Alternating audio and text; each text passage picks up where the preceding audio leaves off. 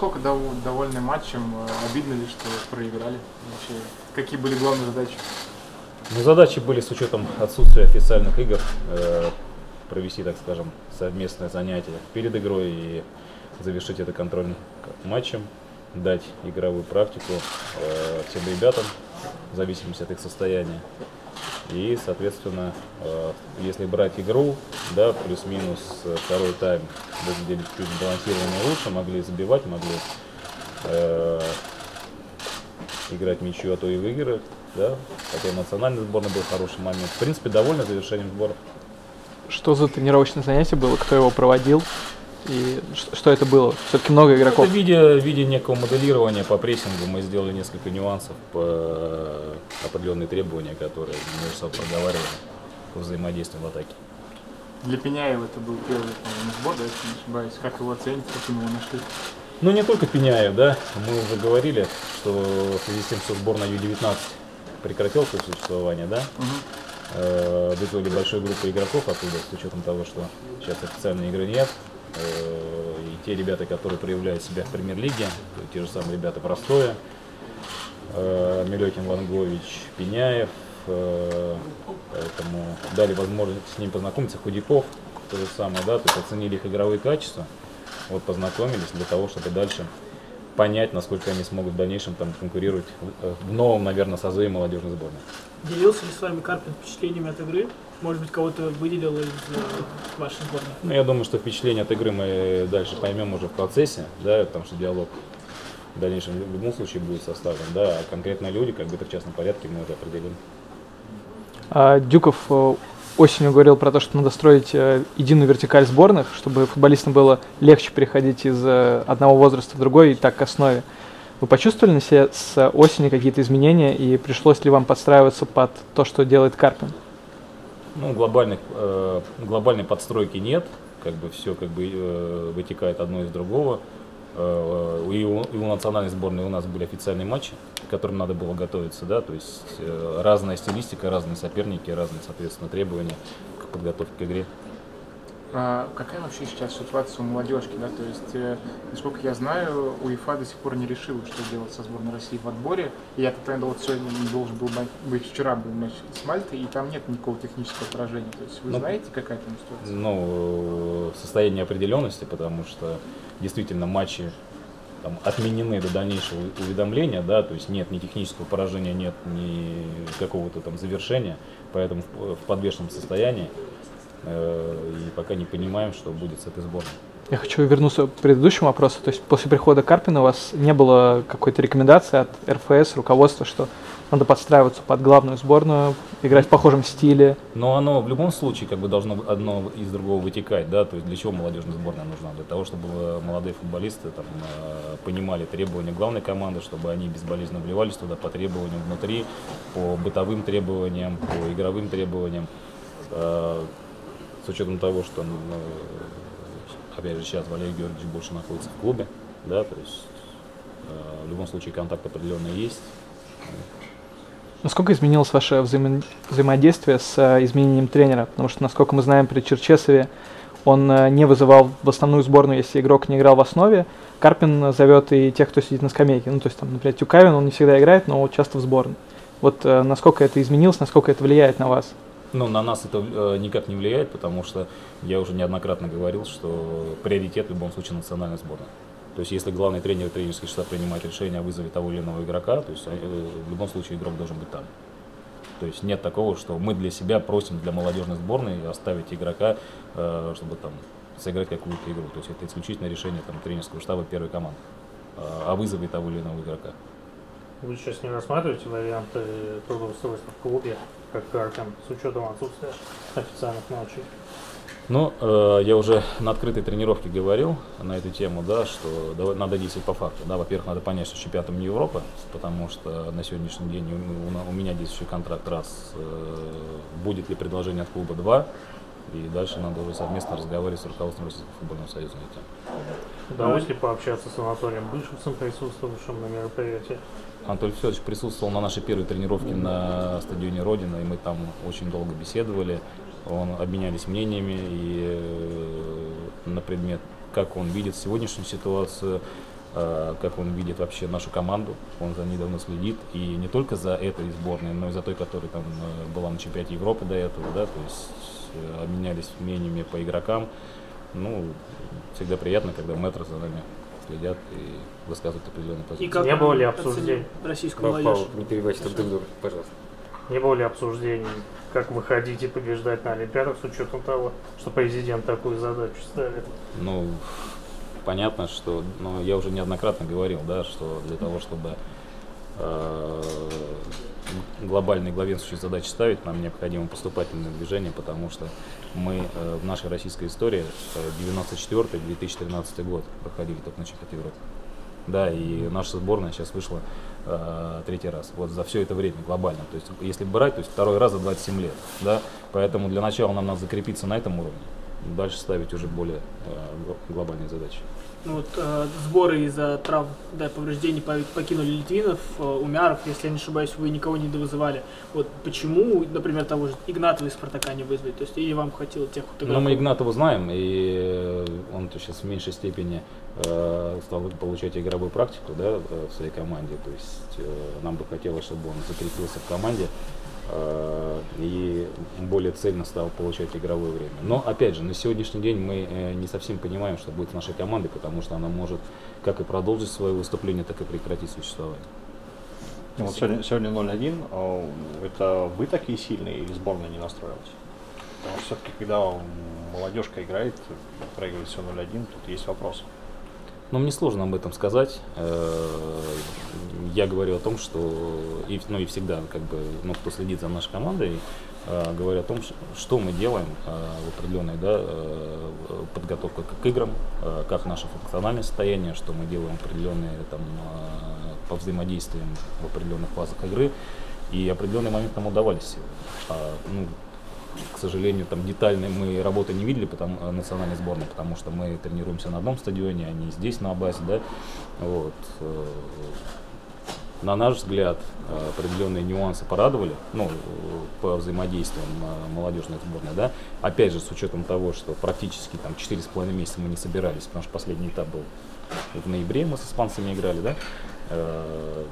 В основном все это было контакты, в основном все это так- такой онлайн-режим, когда высылали определенные взаимодействия, нарезки, требования, общались с игроками на сборах, то есть такого ежедневного э, практики да, тренерской, то есть, ну, я имею в виду с игроками не было.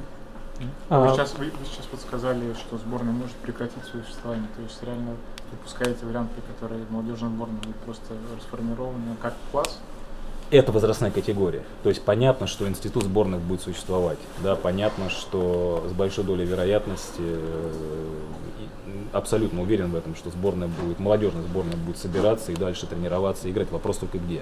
То есть если это будет условно там понятно в российском регионе, да, и условно контрольные матчи с клубом, а, опять же, какие-то между национальной сборной игры и так далее. Е- Если это э, европейский чемпионат нас вернут, дай бог, да, то это совсем другая история. Но опять, на сегодня, если вот так случится и э, будет принято такое решение, с большой долей вероятности этот созыв э, молодежной сборной свое существование прекратит, и дальше уже более младшие футболисты будут в нее вызываться. Говорят, что вы были одним из э, тех, кого рассчитывали назначить в главную сборную, но из-за неудачи на Евро как-то от вашей кандидатуры отошли. Вот вы как считаете, это реально был тот турнир, который повлиял на решение? Но мне сложно сказать, это, кто о чем думал, да, там, э, какие были кандидаты или кандидаты, до меня это не доводилось, я тоже ни с кем на тему не разговаривал. Но понятно, что с одной стороны, если брать глобально э, для Федерации Российского футбольного союза был некий успех, что мы за, за столь долгое время туда пропали, да, А, но то, что выступили неудачно, конечно, это и для Федерации, и для меня лично была определенная там, заноза, да, потому что мы могли выступить лучше на тот момент, и, к сожалению, там нам не удалось выйти из группы. У вас есть амбиции стать главным тренером сборной? Но амбиции есть всегда. Я всегда говорю о том, что э, работа в национальной сборной, вне зависимости от ее уров- уровня, юношеская сборная, молодежная сборная, национальная сборная, это пик определенной карьеры тренера. Кто-то может считать иначе, но мне сложно сказать об этом, да, но я, для меня работа в сборной э, это определенная как бы, э, вершина, да. Понятно, что на сегодняшний день, если санкции будут продолжены, ну, отдушина, так скажем, да, и определенный тренерский тонус, это внутренний чемпионат остается только. А, Многие обсуждают то, что сборная России потеряла э, Спиртяна, то, что его не вызывали даже молодежную сборную. Вот чья вина то, что он теперь не сможет играть за сборную России, как вы считаете? Сложно сказать, э, потому что, наверное, есть некий э, комплекс факторов, да. Э, Я, с разных сторон слышу определенные, так скажем, возгласы на эту тему, да, но если брать конкретно тот период, и мы говорим о том, что Спирсан был, там, играл за Краснодар-2, и м- мы все, бе- безусловно, там, соглашаемся и говорим о том, что это качественный футболист, да, который на сегодня показывает состоятельность. Он более младшего возраста был, да. На тот момент э, мы э, приняли решение пригласить Захаряна. Но то, что игрок принял решение, это э, его личное решение, да, э, играть за другую национальную сборную, его выбор. Ну, его надо уважать. Вот с учетом того, что теперь э, там, армянские, киргизские, казахские футболисты не считаются легионерами в РПЛ, вам не кажется, что надо как-то более внимательно обращать внимание на вот футболистов, у которых потенциально есть второй паспорт?